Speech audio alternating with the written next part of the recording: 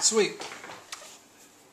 Real quickly, I want to show you how to set up MLXchange to run on your Mac or your iMac.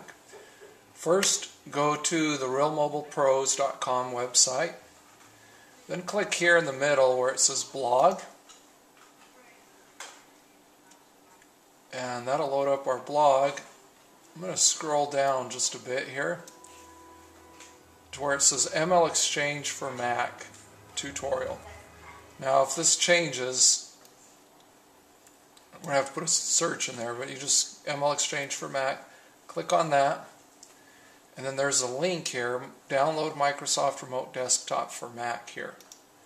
Click there, and this is going to take you to the Microsoft Download Center. And you should get a window that pops up like this. Um, it's downloading. It looks like it's kind of slow here because my kids are downloading videos and stuff. There it is. You'll get something like that. This is RDC installer. Welcome. Let's push continue. Continue. We agree to the license terms. And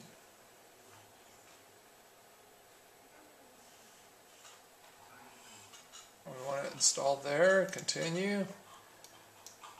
Install. Here you may need to put a an administrator name in there. Oops.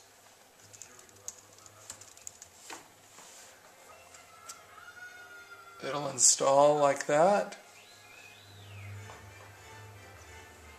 And um, let's see here, we got a little minute there to install that.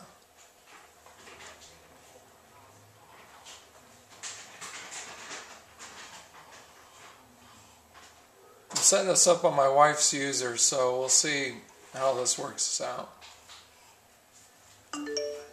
Okay, it's done. And here it is down at the bottom. If not, you can go to Applications and go to Remote Desktop Connection and just pull it down here onto your menu bar. Okay, then we'll just open that up.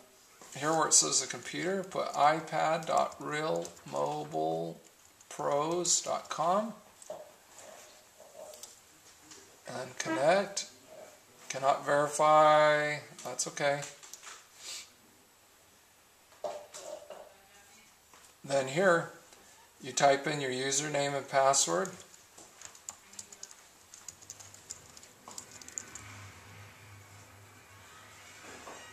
And voila, you got Internet Explorer running on your I like mine about that size there.